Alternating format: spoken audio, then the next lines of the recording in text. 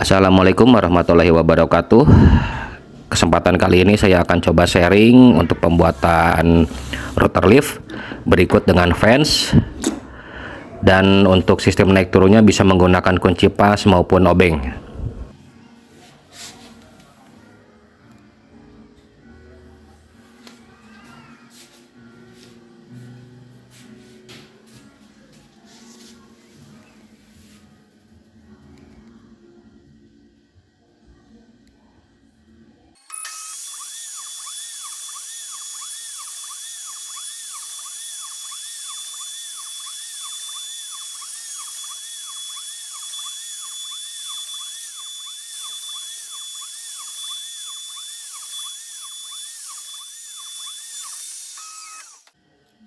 Mm-hmm.